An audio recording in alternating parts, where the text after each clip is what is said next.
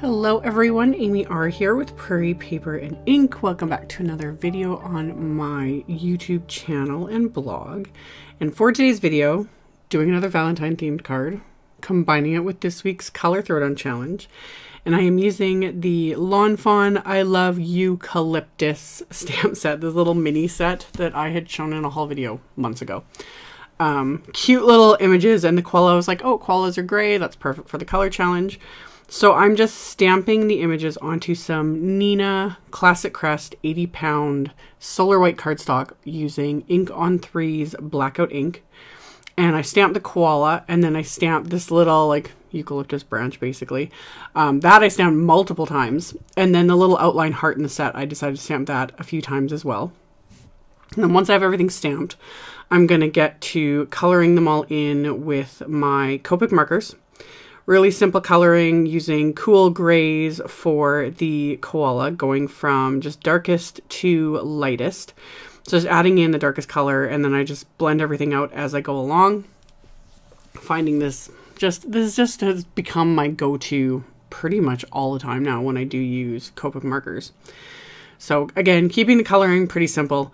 I like to use the 80 pound cardstock for most of my Copic coloring. If you're new to Copic markers or just alcohol markers in general, um, a lot of times you'll find that the 110 pound version of this cardstock works a little bit better for you because it gives you a little bit more leeway. It do, it soaks up a little bit more so it doesn't bleed out as much. So I start when I first started Copic coloring gosh, it's been like 12, 13 years now. I preferred thicker cardstock because I just found I would, when I'd start blending and all that, I would just have the color would just seep out past the stamped lines and make such a mess.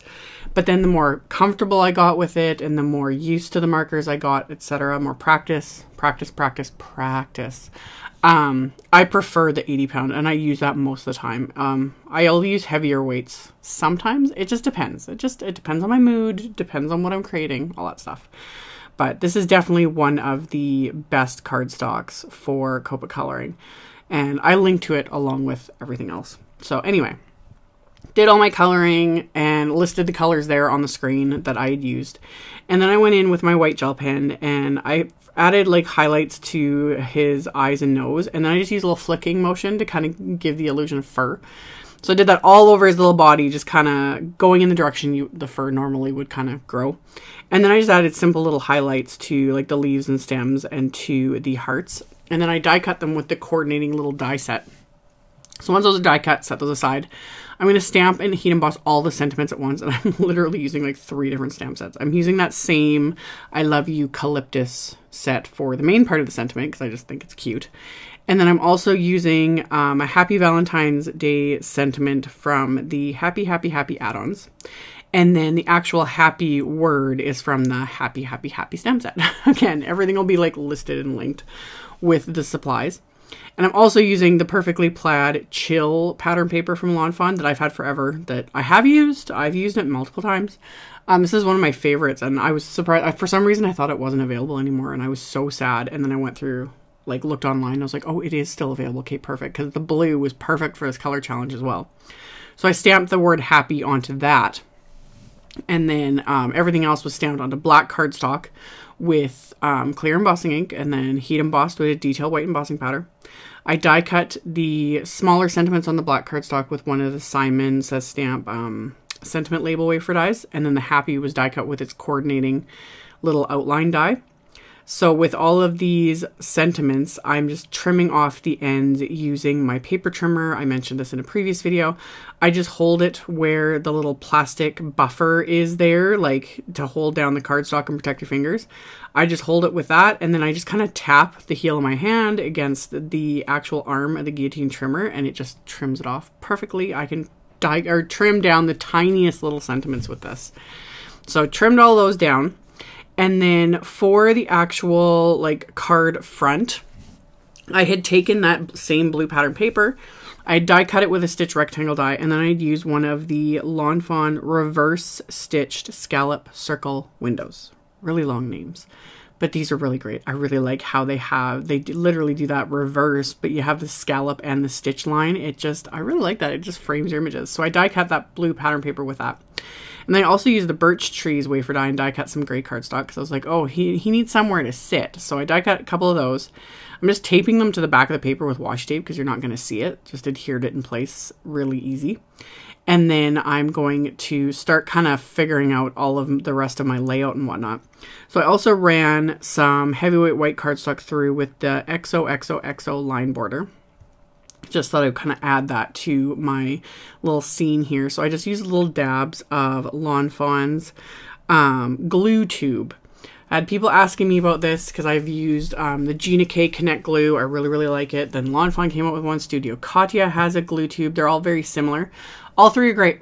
I um, I recommend any of them. Whatever you're able to get your hands on, they're great. I also use Simon's Craft Tacky glue a ton. Really love that glue. So all these glues are great. All these companies are great. It's kind of hard to, you know, promote everyone, but they're all great. So whatever is easiest for you to get your hands on, all these adhesives are amazing and they all work amazing and I have zero complaints with any of them. So for this one, since I already, you know, I was using like Lawn Fawn everything, so I was like, oh, I'll use Lawn Fawn's glue too. So it worked fabulous. So I adhered that line border and then trimmed off the rest of the line with scissors. And then I adhered all that pattern paper to just some green cardstock that I trimmed down to slightly larger than the pattern paper. So it had a nice little frame.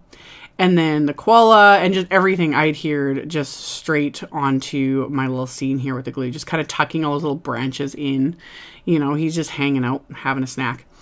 So I'd adhered all of that, and then the actual sentiments I'm also just adhering. This is basically an almost completely flat card, which for me is not always the norm. You know, I'm just, it's a habit to pop everything up with foam tape. But I was, I don't know, I was just in the mood to see how, you know, how this would look if I adhered everything flat. And it worked. It turned out really cute. It would look adorable too if you pop things up with foam tape and added that dimension. But this is very flat, very mailable. So adhered everything flat to the card base and then decided to have him holding one of those little blue hearts. And then the second one I just stuck onto the, like around the sentiments. And I'm going to save the third one for the inside of the card. So once I've got kind of everything adhered here, my card base is more heavyweight white cardstock. Um, I get asked that a lot what I use for my card bases. I use Simon Says Stamps 120 pound cardstock for my card bases. I absolutely love it because it's so smooth and it is heavy. Another option is the Neenah 110 pound because you can kind of multitask with that because it works great for Copic coloring. This actually works good with Copics as well, but again, I just like the lighter weight. But yeah, Simon's 120 pound is amazing cardstock. I use that for all my card bases. I link to it in all my description boxes pretty much. Um, and that's what I use for the XOXO die cut as well. But Neenah's 110 is also great. The Nina 80 I think is too light. I don't like that for card bases. I like a good heavy weight, you know, gives it that nice feel and quality. So that was my card base, which is A2 size, so four and a quarter by five and a half. And then I adhered my Happy Valentine's Day on the inside of the card, and then that third little heart just to, you know, finish it all off. So got that adhered. And then as a final little bit of embellishment, I grabbed some um, limeade sprinkles from Doodlebug. The dark green in the pack was perfect. And I'm almost out of these. like you just get that itch. It's like I need to order more. Um, so I adhered a few of those just to kind of tie it all together. And then I decided this whole time, like there's a couple spots I just didn't like how the highlights were looking on his little eyes and nose. So instead I actually went over his eyes, nose, and mouth with my Gelly Roll Black Glaze pen so it just gives it, you know, that really deep black shiny effect that really kind of emphasizes his little face. So I just added that and that finished off the card. So as always, I'll have links below the video to my blog post.